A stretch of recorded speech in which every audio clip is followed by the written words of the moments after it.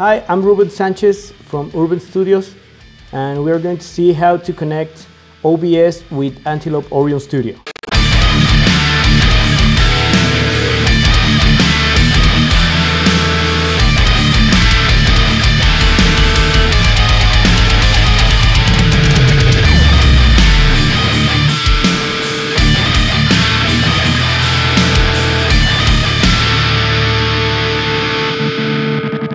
Well, first of all, we have to mute everything on our Antelope Orion Studio because if we don't, we don't have it muted, we can have a feedback and we can damage our speakers if something goes wrong. So we are going to first check that they are all muted. So first of all, we are going to connect a microphone, a guitar, and our sound from our computer to OBS. How can we do this? We're going to use the matrix and we're going to use this screen to make it work. So first of all, the sound from the computer comes from here, from TB play or USB play if you're using your USB. So we are going to use two mixers in our Antelope Orion Studios. The first one is going to be used only to send the sound to OBS. The second one is going to be used for the speakers for your monitoring purposes. So we are going to send the first two channels to the mix channel 1. So we have the sound from the computer going to this virtual mixer. And we are going to send the first channel that it's a microphone I have connected here on the first channel. We're going to send it to channel 3 on the mix channel 1. And the second one that's going to be our guitar, just you want to use it on your channel too. And we are going to do the same for the second channel. So channel 1 and channel 2. And this time we are not sending the microphone because we don't want this feedback coming through your speakers. So we are not sending that. We are just gonna send the guitar so you can have your guitar on your speakers, you can hear it, but it's not going to make a feedback. Now that we have that, we're gonna test if it's sending sound. How do we test that? We play some music on something on your computer and we're going to check here in the mixer one that it's sending music. You can check that it's sending music. It's also receiving sound from my microphone.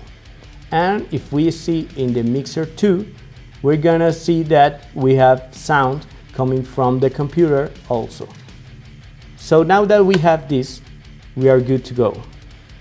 Now we're gonna open OBS and Pro Tools. I'm gonna put a window capture that is gonna be Pro Tools. Maybe you can try it with your computer with Google Chrome or something. We're gonna put Google Pro Tools, sorry.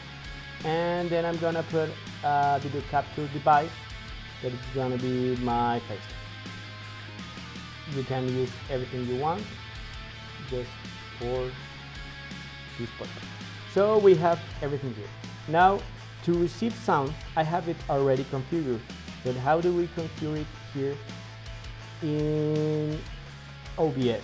You have to come here to OBS audio in settings and then you have to disable everything but the mix auxiliary audio first. So we're going to put Orion Studio. If you do it correctly, you're gonna be receiving sound, but from the Antelope Orion Studio stuff. You are not hearing it. So we have it here. If you play music like from here from Top Pro Tools, you are not gonna hear it because we, we haven't connected to the speakers, but you see how OBS is receiving the sound. So we are okay. The sound from here is receiving, yeah. So we're okay from now. Now we have to connect them to the speakers so you can hear what you are sending or what you are streaming. How are we going to do that? We have to choose the second one. Remember the first one is all the sound that you're going to send to the OBS. And the second one is everything you want to hear from your speakers or if you're gonna use the headphones from your headphones. So we are going to we're gonna put these two on the monitors. So if everything is correct, you should put your speakers out.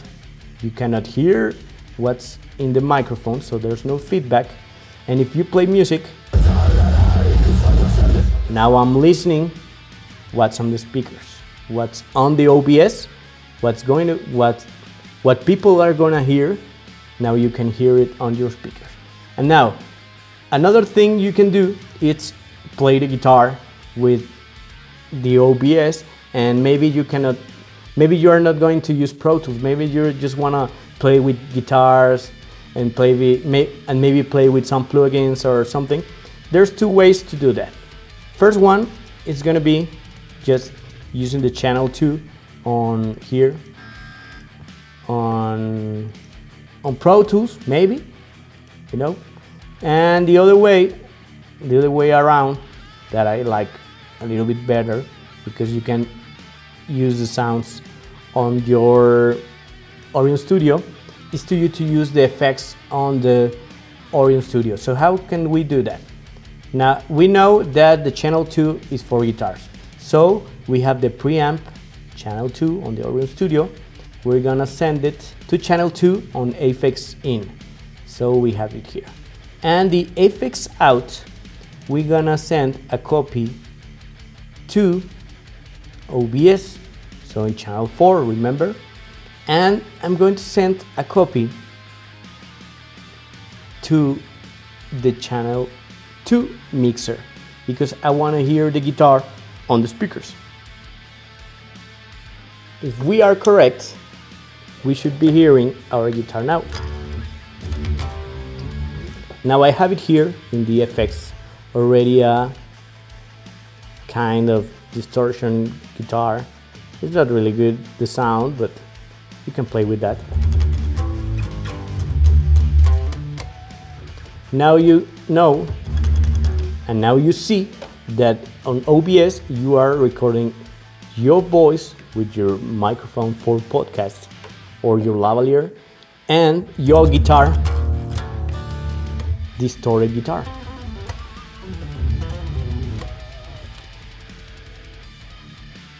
Okay, now that we have done everything good, or everything the way it should be, now there's only one thing missing, how to stream it. You go to settings, you go to stream, and then you select the service you wanna use. Maybe you're going to put it in Twitch, YouTube, Mixer, Facebook. All of them are the same. You just have to put that on the screen of, on the browser. If you put Facebook and you go to stream, they are going to give you a stream key that you're going to put here. You're gonna press OK, and then you have to start streaming, and that's all. You, you just make sure that it's streaming in your computer, in your browser, in your Google Chrome, and that's it. Just remember to start recording also, because now if, if there's something that it's missing in the transmission, maybe with your connection or something, you can also upload it and then you're gonna be okay if something if people doesn't don't see something you want you want them to see so hopefully that it's a good explanation of how to do that. I hope you will like it. I'm sorry if my english is not very good. Um, i'm not a native english speaker so hopefully you like it and hopefully you'll you'll subscribe to my channel.